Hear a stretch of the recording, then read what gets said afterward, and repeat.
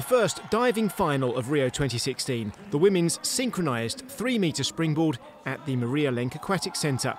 Wu Minxia on the left had won the gold medal in this event in each of the last three Olympic Games. She was diving with a new partner, Shi Tingmao, and Wu was aiming to make history. No diver had ever won four gold medals in a single event in the history of the Olympic Games. They took the lead in the first round with this forward dive in the pike position.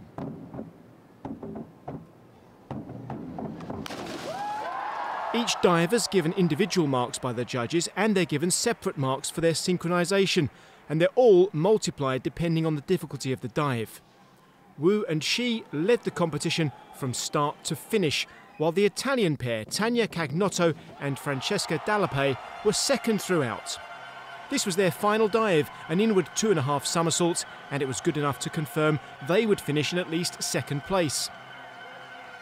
It meant Wu could make history with her fifth dive with Shi. Wu had done it, the first diver ever to win the same event at four consecutive Olympic Games.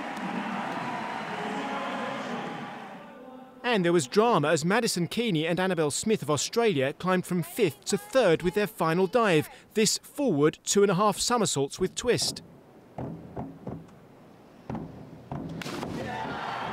Jennifer Abel and Pamela Ware of Canada could still have finished third, but they lacked synchronisation in their final dive.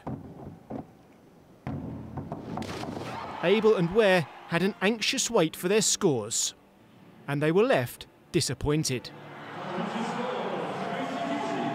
Keeney and Smith finished third, with Abel and Ware less than one point behind after five dives. Wu and Shi finished more than 30 points ahead of second place. They took the gold medal for China. Silver went to Tania Cagnotto and Francesca Dallapé of Italy, and bronze to Maddison Keeney and Anabelle Smith of Australia.